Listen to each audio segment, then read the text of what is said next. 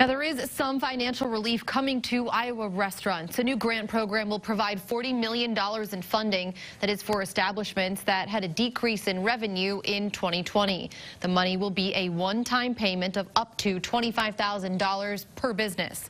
The amount of lost sales will determine how much businesses will get. The application period starts on February 1st and at noon and ends on February 15th at 5 p.m., so about two weeks. No word yet on exactly exactly where or how to apply, but we will keep you posted. Governor Kim Reynolds tonight says those details will be available sometime next week.